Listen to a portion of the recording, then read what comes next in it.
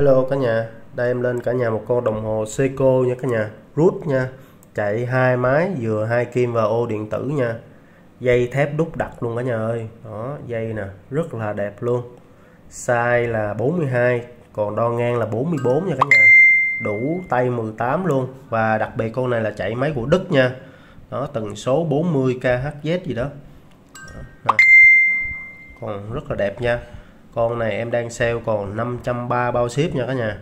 Đó em sale lúc cán luôn. 530 bao ship nha. Dây nè rất là đẹp nha. Đeo rất là ngầu luôn nặng nha. Con này thì thép đúc đặc lận. Máy của Đức nha cả nhà Seiko máy Đức.